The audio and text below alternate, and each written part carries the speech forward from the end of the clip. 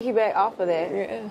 What makes you a goat on the ride? Man, because I only not only did I heal myself, but I heal the community. I heal underserved communities. I implement a mindset that you can heal yourself.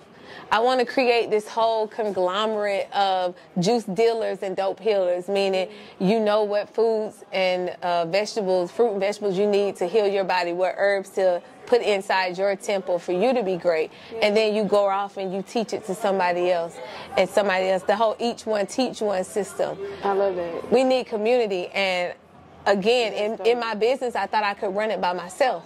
But in order to thrive and grow, people need people. Just like this relationship, just like this, we're part of this, we're rising up. We're go- goats on the rise.